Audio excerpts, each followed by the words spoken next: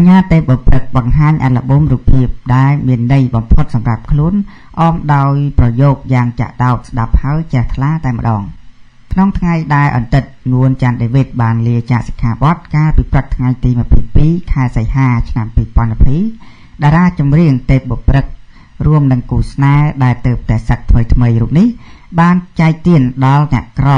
ហើយបានពោពាកគួរឲ្យចាក់ដោតនៅឃ្លាចុងក្រោយ ការបង្ហោះអាល់ប៊ុមរូបភាពជាច្រើនសន្លឹកនៅរសៀលថ្ងៃទី23ខែសីហាឆ្នាំ2020នេះតារាចម្រៀងទេពព្រឹកបានសរសេររៀបរាប់បានបង្ហាញពីអារម្មណ៍របស់ខ្លួនថានេះជាអាល់ប៊ុមរូបថតដែលមានសេចក្តីសុខបំផុត និងមានន័យបំផុតសម្រាប់ខ្ញុំក្នុងឆ្នាំ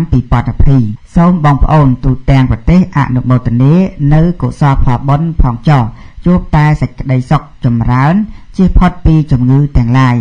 សូមឲ្យមានសត្រូវជាឆ្ងាយសត្រូវទាំងឡាយសូមឲ្យខ្លាចជាមិត្តប្រាថ្នាអ្វីសម្រេចដោយបំណងប្រាថ្នាសេចក្តីល្អនឹងនាំឲ្យយើងជួបតែភាពជោគជ័យអតីតតារាចម្រៀងផលិតកម្មហងមាសរូបនេះក៏បានបញ្ជាក់ថាបង្ហើយកិច្ចនៃបុណ្យគឺចែកទានដោយពាក្យសច្ចៈនេះសូមឲ្យសេចក្តីសុខកើតមានដល់អ្នកទាំងអស់គ្នាតិចសម្រាប់អ្នកមានតែពេញទៅដោយបច្ច័យទានច្រើនសម្រាប់អ្នកអត់ ងាកមកមើលអន្តិតដេវីតស្ថិតនៅក្នុងរូបភាពក្នុងថ្ងៃចែកទាននេះដដែលក៏បានបង្ហោះសារដូចទៅនឹងកញ្ញាទេពព្រឹកខាងលើនេះដែរគួរបញ្ជាក់ផងដែរថាការធ្វើទានគឺជាមធ្យោបាយហាត់ពុតអប់រំចិត្ត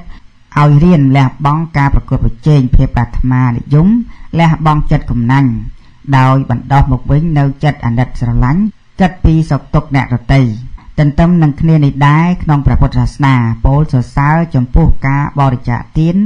ដោយប្រការផ្សេងផ្សេងថាជាផ្នែកមួយនៃអរិយទ្រព្យគឺជាកំណត់ទ្រព្យដ៏ប្រសើរឧត្តម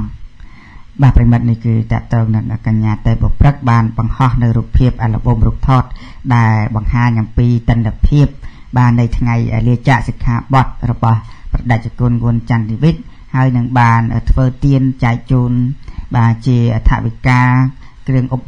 ភោគបរិភោគដល់ប្រជាពលរដ្ឋក្រីក្រដែលជួបការខ្វះខាត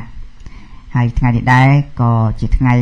ពិសេសហើយនឹងជាថ្ងៃដ៏អស្ចារ្យគម្រប់នៃការសឹករបស់បដិជគុណងួនចន្ទវិទ្យកញ្ញាទេពព្រឹកក៏សូមឧទ្ទិសកុសលផលបុណ្យជូនដល់បងប្អូនជាប្រដ្ឋផងដែរបាទប្រិមិត្តអរគុណហើយក៏សូមបញ្ចប់នៅអត្ថបទខ្លីនេះដែរបាទសូមអរគុណសូមជម្រាបលា